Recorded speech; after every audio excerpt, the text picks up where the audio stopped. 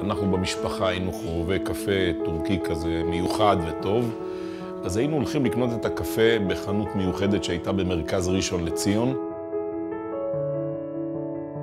אחרי שהייתי יוצא עם השקית הסגורה, היה סוגר לנו אותה אז עם קליפסים כאלה ושם אה, נייר דבק שחס וחלילה בדרך הביתה לא תיעלם הארומה מתוך השקית.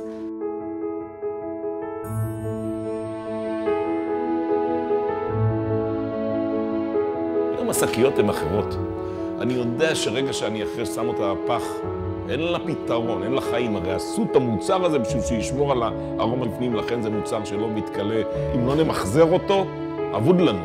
אני קוראת לכם, תושבי ראשון, הקטנטנים, הגדולים, המבוגרים, המבוגרים פחות, להצטרף אלינו למהפכת המחזור ולהתחיל למחזר אריזות לפח הכתום.